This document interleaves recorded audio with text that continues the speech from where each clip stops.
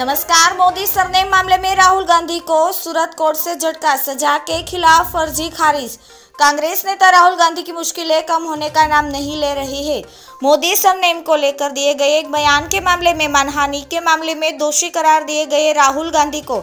सूरत की कोर्ट ने कोई राहत नहीं दी है।